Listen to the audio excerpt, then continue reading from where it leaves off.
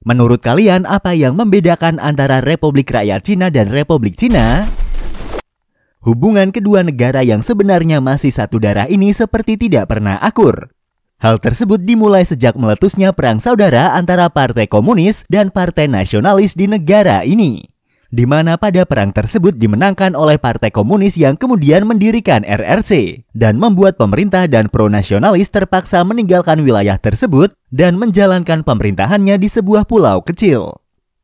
Kali ini kita tidak akan membahas tentang hubungan antara kedua negara, namun kita hanya akan membahas tentang negara Republik Cina atau yang biasa kita sebut dengan nama Taiwan. Lebih lengkap tentang negara Taiwan, inilah videonya.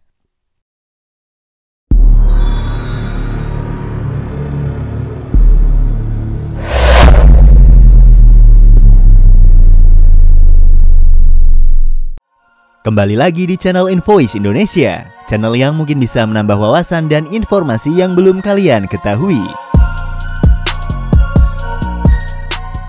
Republik Cina atau Republik Tiongkok biasa dikenal juga dengan nama Taiwan.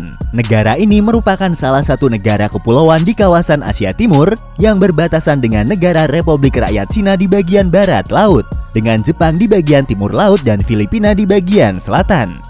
Taiwan merupakan negara dengan pengakuan terbatas dan bukan merupakan negara anggota PBB karena posisinya di PBB telah digantikan oleh Republik Rakyat Tiongkok pada tahun 1971 dan sebagian besar negara-negara anggota PBB mengakui bahwa Taiwan adalah bagian dari Republik Rakyat Cina atau RRC. Meskipun demikian, Taiwan tetap mempertahankan hubungan diplomatik resmi dengan 14 negara anggota PBB dan tahta suci atau Vatikan, serta mempertahankan hubungan secara informal dengan hampir semua negara lainnya. Wilayah utama Taiwan saat ini secara historis dikenal dengan nama Formosa yang dalam bahasa Portugis berarti pulau yang indah. Total luas wilayah dari negara Taiwan adalah sekitar 36.197 km persegi. Jika kita bandingkan dengan daerah yang ada di Indonesia, luas negara ini sedikit lebih luas dari wilayah Provinsi Jawa Barat yang memiliki luas sekitar 35.377 km persegi. Selain pulau utama, pemerintah Taiwan memiliki yuridiksi atas 22 pulau di grup Kepulauan Taiwan dan 64 di sebelah barat Kepulauan Penghu atau Kepulauan Pescadores. Ibu kota dari negara ini adalah kota Taipei, dan kota terbesarnya adalah kota Taipei baru. Saat ini Taiwan mempunyai jumlah penduduk sekitar 23.780.452 jiwa, dengan sekitar 95% berasal dari etnis Han. Kebanyakan penduduk Taiwan mempraktekkan Buddhisme dan Taoisme, dengan presentase keduanya adalah sekitar 35% dan 33%. Sisanya adalah penganut kepercayaan yang lain. Bahasa Mandarin adalah bahasa resmi di Taiwan. Bahasa ini adalah bahasa utama yang digunakan dalam bisnis dan pendidikan, serta digunakan oleh sebagian besar penduduknya. Bentuk pemerintahan Taiwan adalah republik konstitusional semi-presidensial. Negara ini dipimpin oleh seorang presiden sebagai kepala negara, sedangkan pemerintahannya berada di bawah tanggung jawab seorang perdana menteri. Pemerintah Republik Cina atau Taiwan didirikan berdasarkan Konstitusi Republik Rakyat Cina dan tiga prinsip rakyat yang disebut juga sebagai Samin Doktrin yang menyatakan bahwa Republik Rakyat Cina adalah sebuah republik demokratis rakyat yang diperintah oleh rakyat dan untuk rakyat. Konstitusi ini dibuat saat Republik Cina masih memerintah daratan Cina yang saat ini menjadi wilayah Republik Rakyat Cina atau Tiongkok. Dalam segi ekonomi, Taiwan adalah salah satu dari empat macan Asia bersama Hong Kong, Korea Selatan, dan Singapura. Negara-negara tersebut mendapatkan julukan karena mereka mengalami industrialisasi yang pesat dan mempertahankan tingkat pertumbuhan yang sangat tinggi. Pada paruh abad ke-20, pertumbuhan ekonomi dan industrialisasi yang cepat terjadi di wilayah ini dan disebut juga sebagai keajaiban Taiwan atau Taiwan Miracle. Saat ini Taiwan adalah anggota dari Organisasi Perdagangan Dunia, Kerjasama Ekonomi Asia Pasifik dan Bank Pembangunan Asia. Taiwan adalah negara terpadat dan ekonomi terbesar yang bukan merupakan anggota PBB. Taiwan mempunyai beberapa tempat yang menjadi daya tarik bagi para wisatawan. Antara lain adalah Taipei 101. Bangunan ini merupakan salah satu gedung pencakar langit tertinggi di dunia di tempat wisata ini pengunjung juga bisa berwisata belanja barang mewah. Selain Taipei 101, para wisatawan juga bisa berbelanja di Saili Night Market yang terdapat berbagai macam barang dari pakaian, makanan, souvenir, mainan, dan lainnya. Di tempat ini juga terdapat tempat-tempat yang menawarkan hiburan seperti bioskop, arena video games, dan tempat-tempat karaoke. Selain wisata belanja di negara Taiwan terdapat wisata religius. Salah satunya adalah kuil Xingtian. Kuil ini tergolong berusia muda karena tempat wisata ini dibangun pada tahun 1967. Selain wisata belanja dan wisata religius, Taiwan juga mempunyai beberapa destinasi wisata dengan keindahan alamnya seperti Taman Nasional Yangmingshan yang dipenuhi beragam vegetasi dan mempunyai kebun bunga sakura yang sangat indah. Hualien dengan pemandangannya yang masih alami, Sun Moon Lake dan Dacha Riverside Park dengan pemandangan serta lingkungannya yang bersih dan nyaman mampu membuat para pengunjung merasa damai. Sejarah Taiwan Sekitar 6.000 tahun yang lalu, wilayah Kepulauan Taiwan telah dihuni oleh orang-orang yang kemungkinan besar berasal dari daratan Cina. Mereka diyakini sebagai nenek moyang dari orang-orang pribumi Taiwan saat ini yang dikenal juga sebagai orang Formosa atau orang Gaosan. Pada abad ke-13, orang Han atau Hanzu mulai menetap di wilayah Pulau Penghu. Orang Han adalah kelompok etnis dan bangsa Asia Timur yang secara historis berasal dari wilayah lembah Sungai Kuning di Cina modern. Pulau tersebut dinamai Ilha Formosa oleh para pelaut Portugis yang melewati wilayahnya pada sekitar tahun 1544. Di tahun 1623, perusahaan Hindia Timur Belanda atau VOC datang ke wilayah tersebut mencari pangkalan militer dan perdagangan Asia. Setelah sebelumnya telah dikalahkan oleh Portugis pada Perang Makau pada tahun 1622. Belanda kemudian mendirikan pos komersial di Fort Zeelandia yang sekarang bernama Distrik Anping yang ada di kota Tainan. Pada tahun 1626, Kekaisaran Spanyol melihat kehadiran Belanda di Taiwan sebagai ancaman bagi koloni mereka di Filipina. Spanyol kemudian mendarat dan menduduki wilayah Taiwan Utara sebagai basis untuk memperluas perdagangan mereka. Koloni ini bertahan selama sekitar 16 tahun hingga tahun 1642 ketika benteng terakhir Spanyol jatuh ke tangan Belanda. Setelah jatuhnya dinasti Ming pada tahun 1644, pada tahun 1662 seorang loyalis dinasti Ming Kong Singa beserta pengikutnya tiba di pulau itu dan merebut benteng Zealandia dan mengusir Belanda dari wilayah tersebut. Kong Singa kemudian mendirikan kerajaan Tungning dengan ibu kotanya di Tainan. Pada tahun 1683, wilayah tersebut secara resmi dikuasai oleh dinasti Qing setelah berhasil mengalahkan kerajaan Tungning. Wilayah tersebut ditempatkan di bawah yuridiksi Provinsi Fujian. Setelah kekalahan Angkatan Laut Cina selama Perang Cina-Jepang pertama pada tahun 1895, Qing kemudian menyerahkan Taiwan bersama dengan Kepulauan Penghu kepada Kekaisaran Jepang melalui Perjanjian Shimonoseki pemerintah kolonial Jepang berperan penting dalam industrialisasi Taiwan pada saat itu. Pemerintah Jepang memperluas jalur kereta api dan jaringan transportasi lainnya, membangun sistem sanitasi, dan juga membangun sistem pendidikan formal di Taiwan. Taiwan memproduksi beras dan gula untuk diekspor kepada Kekaisaran Jepang dan juga menjadi basis invasi Jepang ke Asia Tenggara dan Pasifik selama Perang Dunia Kedua. Setelah kekalahan Jepang pada Perang Dunia Kedua di tahun 1945, Republik Tiongkok yang telah menggulingkan dan menggantikan pemerintahan dinasti Qing pada tahun 1911 kemudian mengambil alih wilayah Taiwan atas nama Sekutu Perang Dunia Kedua. Pada bulan September tahun 1945, pemerintah Republik Cina membentuk pemerintah Provinsi Taiwan dan pada tanggal 25 Oktober tahun 1945 diproklamasikan sebagai Hari Retrosesi Taiwan. Setelah berakhirnya Perang Dunia Kedua, Perang Saudara Cina yang sudah terjadi sejak tahun 1927 akhirnya pecah kembali. Perang antara Partai Nasionalis Cina atau Kuomintang yang dipimpin oleh Chiang Kai-shek dengan Partai Komunis Cina yang dipimpin oleh Mao Zedong. Setelah komunis memperoleh kendali penuh atas Cina daratan pada tahun 1949 dan komunis sebagai pemenang dalam perang tersebut, kemudian mendirikan Republik Rakyat Cina pada tanggal 1 Oktober tahun 1949 sebagian besar pemerintah nasionalis, militer, dan komunitas bisnis melarikan diri ke Taiwan dan kemudian menjadikan Taipei sebagai ibu kota sementara Republik Cina.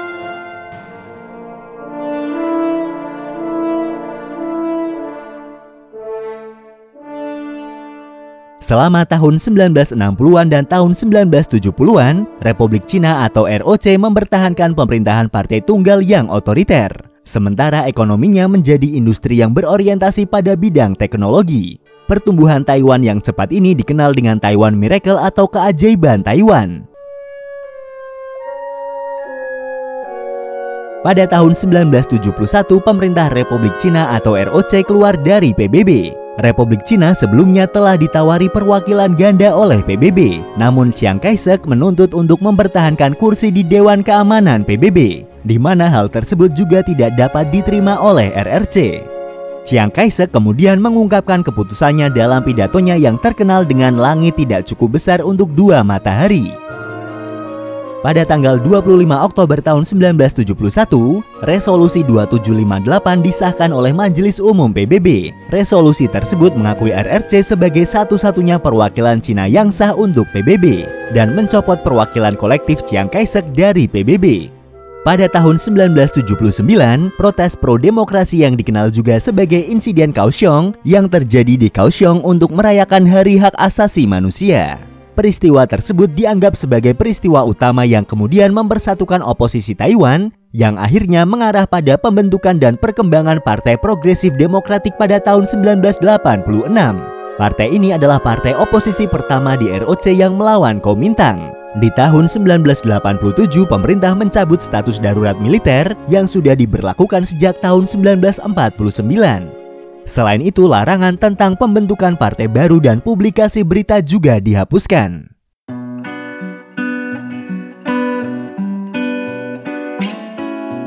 Itulah sedikit ringkasan sejarah tentang negara Taiwan atau Republik Cina. Dan untuk mengenal lebih jauh tentang negara ini, berikut adalah 25 fakta tentang negara Taiwan.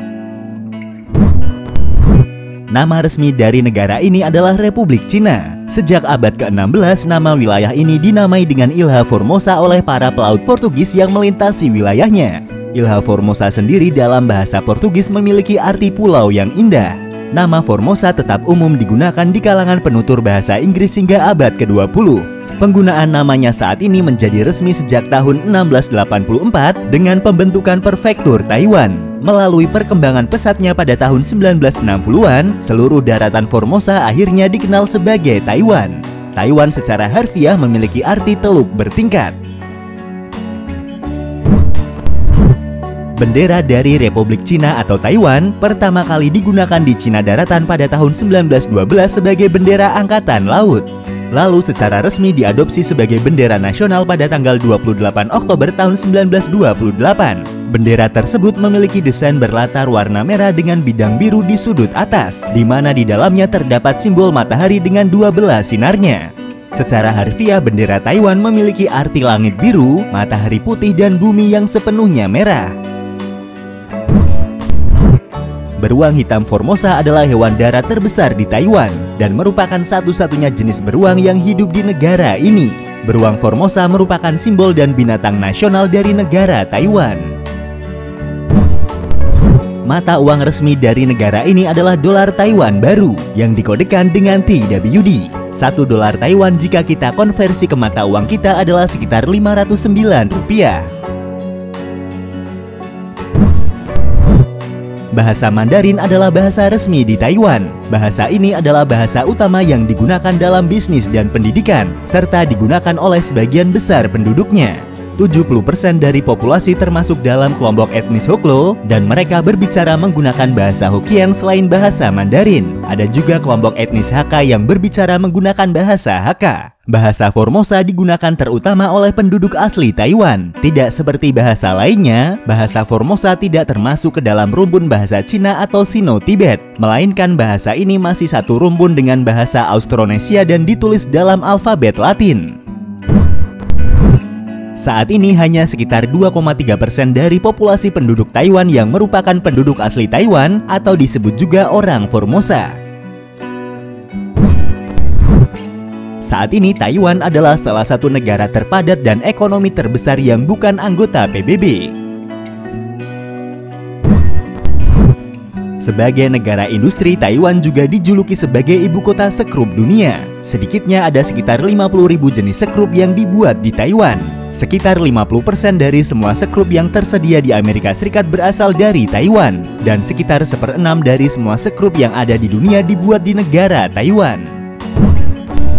Sekitar 2 per 3 dari wilayah Taiwan adalah pegunungan dan sebagian besar terdiri dari lima pegunungan yang terjal di bagian timur dan tengah pulau. Negara ini memiliki beberapa puncak dengan ketinggian lebih dari 3.500 meter dan yang tertinggi adalah Gunung Yusan atau Gunung Jet dengan ketinggian 3.952 meter di atas permukaan laut, menjadikan Taiwan sebagai pulau tertinggi keempat di dunia.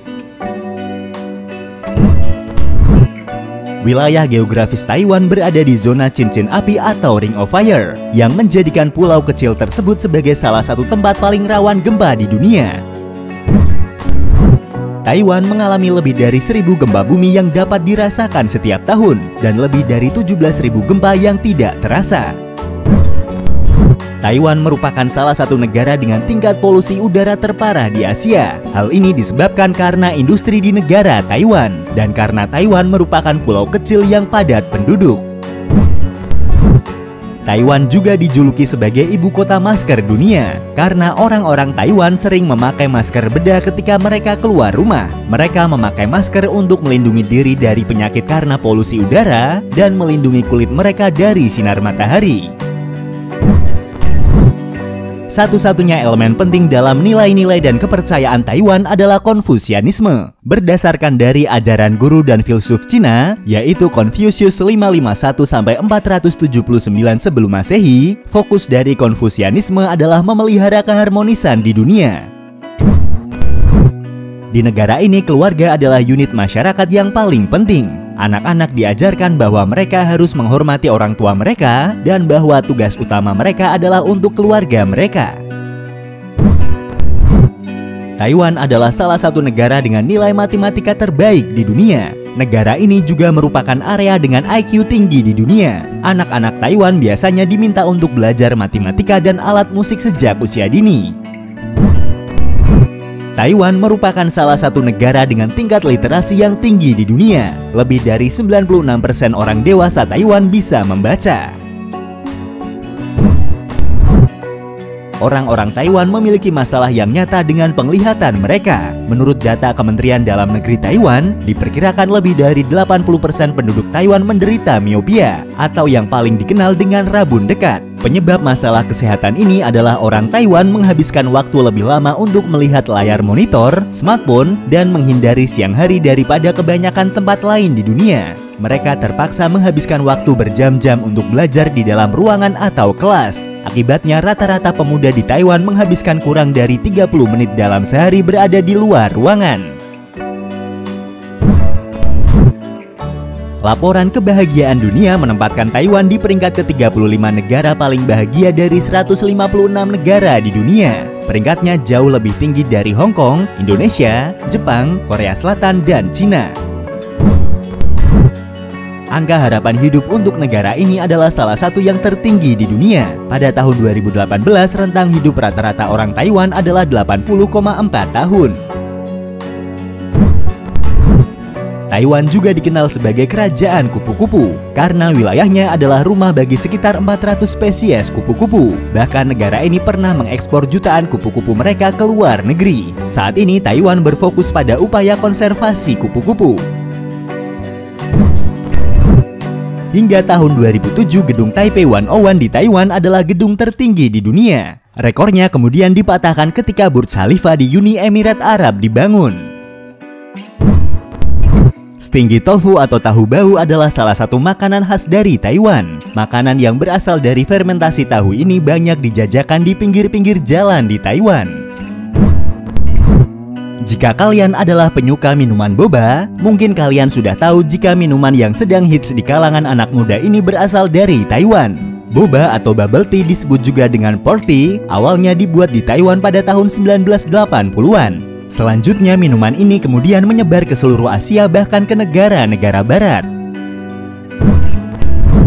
Saat ini Taiwan sedang dalam misi untuk menjadi negara bebas plastik sekali pakai pada tahun 2030. Langkah pertama untuk menjadi negara yang lebih ramah lingkungan akan diambil dalam beberapa tahun ke depan. Sedotan plastik akan menghilang dari restoran-restoran besar pada tahun 2020 dan akan dikenakan bayaran tambahan pada penggunaan sedotan. Pelarangan penggunaan tas belanja plastik, peralatan sekali pakai dan gelas minuman yang akan diperkenalkan pada tahun 2025. Itulah sejarah dan fakta dari negara Taiwan, sebuah negara kecil di Asia Timur yang meskipun keberadaannya masih diperdebatkan, namun negara ini berhasil membangun ekonomi dan menjadi salah satu negara dengan kekuatan ekonomi terbesar di dunia. Terima kasih sudah menonton dan tunggu video dari kami selanjutnya.